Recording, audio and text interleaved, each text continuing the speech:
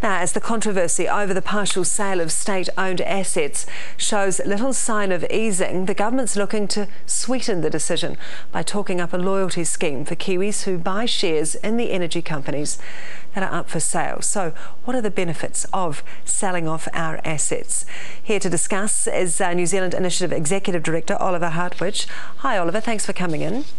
Good morning. I know you think that. Uh, we should sell. Is this the right time, you think, to sell in this economic environment? Well, there is never a perfect time to sell assets because markets could always improve, and certainly that's true at the moment.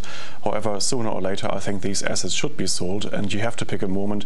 You simply don't know where the global economy is going and whether the uh, uh, general economic climate is going to improve or deteriorate.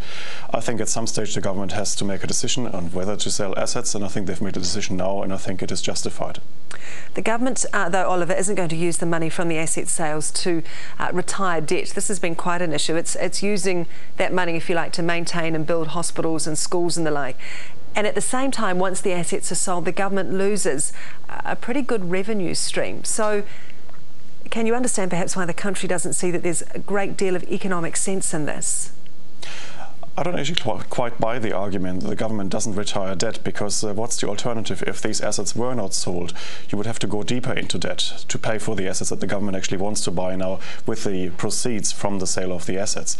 So I think altogether there is no ring fencing of government money in, uh, in the end because it all goes into the same budget. So without the asset sales, we will definitely go further into debt. Do you believe, uh, Oliver, that there will be uh, a lot of foreign interest in these assets? There might well be foreign interest, and actually we should welcome that because foreign investment is a good thing. We are dependent on international capital markets. We are a small economy. We are integrated into the world economy, and we should really welcome foreign investment because that is really where our capital comes from. We are dependent on international capital flows, and I would actually welcome any foreign investor showing an interest in these companies. I don't quite understand the populist sentiment against that. I think it's just a general concern that we lose uh, not necessarily control because the government also you know maintains a 51% share but there's just a general fear about you know uh, other countries if you like running or, or owning our assets but as you said, it's a fear, but it's an irrational fear because you just have to look around the world and you would see that a lot of countries around the world operate in environments where the major electricity companies are foreign owned. Just look at European uh, countries, for example, where that's actually the, the, case that in Germany, for example, you've got Swedish companies operating and that is not a loss to German consumers. So I think we should be seeing a, a similar model here as well. Okay, if we look to uh, Europe for a moment and look to Greece, they've been told you know, they have to sell assets valued at around 5 billion euro. So is selling assets, if you like, something of a, a, dance of the desperates? Is it the final solution? In an ideal world, would we be doing this?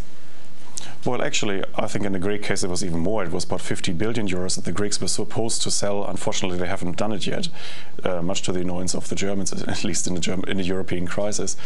But no, I think it is not uh, just a general theme around the world. It's something that really makes sense because we know that private companies, when they are uh, subject to the discipline of the markets, are usually better at using resources, much better than the government.